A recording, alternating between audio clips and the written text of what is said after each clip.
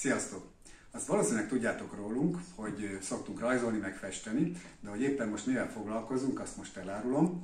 Ez egy nagyon új és különleges eszköz, Amerikából rendeltük, úgy hívják, hogy Pampastel, és a Pastel Krétának egy új és különleges fajtája, és most éppen ezt nézzük, próbáljuk, tanulmányozzuk, hogy ezzel hogyan lehet festeni, rajzolni. Ugye egy portrét készítek éppen ezzel a az eszközzel, azzal a szándékkal, hogy majd ezt a tudást, tapasztalatot továbbadjuk, és először a mentorprogramos tanítványainknak fogjuk ezt megmutatni.